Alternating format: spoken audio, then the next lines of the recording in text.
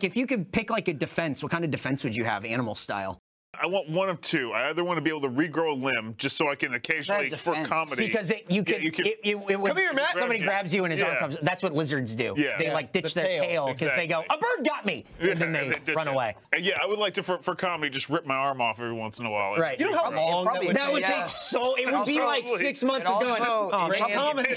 People ask me, was It wouldn't feel good. You'd still be getting your arm. Was it off. worth I'll be like, yep. If that was Matt, I would constantly rip his arm. Oh, 100 percent. Yeah. Just to piss him That's off. yes. Yeah. Yeah. Hey, Matt. All right, I'm going to go with option two then camouflage. Wait. Oh my God, there's a floating sweater. If, if Matt did camouflage, that would be awesome. He just goes up against the wall and he goes, "Hmm?" And he disappears. Be like, Matt's camouflaged somewhere in this room. Where is he? Mm-hmm. And go, well, he's in his chair playing video. Yeah. you still see it moving It's just, around. I don't know. See his soda. But he's camouflaged. Well, he looks just like that DX racer chair again.